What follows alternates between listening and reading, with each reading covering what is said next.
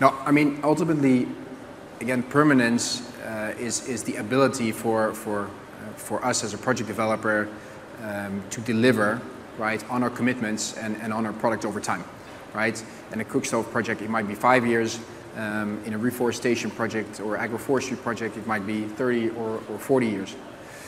And what we um, what we do in the project design, right, is that we um, we need to design for uh, for project ownership on the ground because ultimately, look, you know, our organization is is based in the Netherlands. Of course, I have my local directors, I have my local team on the ground, but ultimately, uh, in any case, uh, the will uh, of uh, people, community, or governments on the ground will always be stronger than whatever monitoring mechanism I can put in place.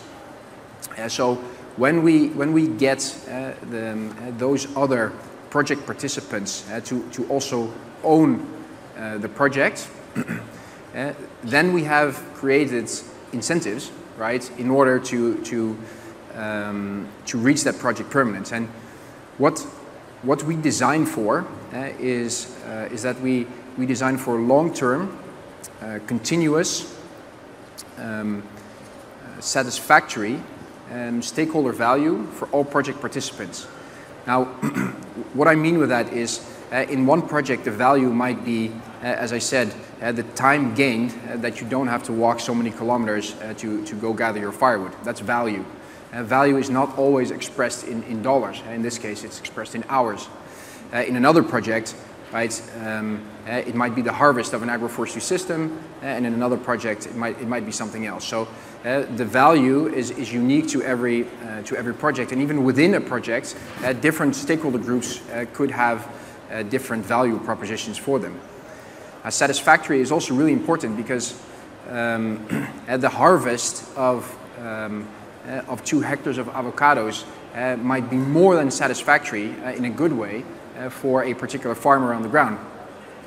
but if we were to offer, let's say, a certain percentage of the carbon credits that his one acre or two acre generates, um, it might not amount to enough dollar value on an annual basis uh, for, uh, for this particular project uh, participant um, to remain compliant over time. Uh, so that, that would not work in terms of project uh, permanence.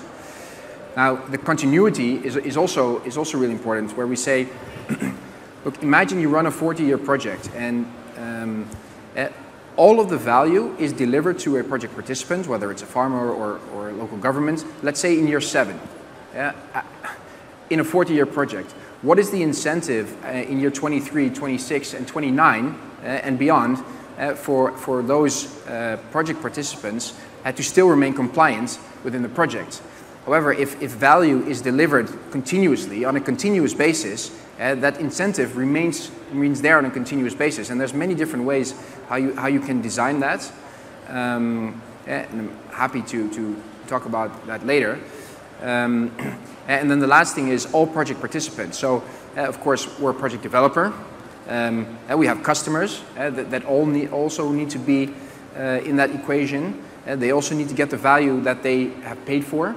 Um, uh, of course, we have the local communities, we have local governments, um, and all of those, uh, as, as, Ben also highlighted, you, said all of those need to be aligned uh, in the project design, and all of those need to get that value out of the project, and then you're able to establish a good project permanence.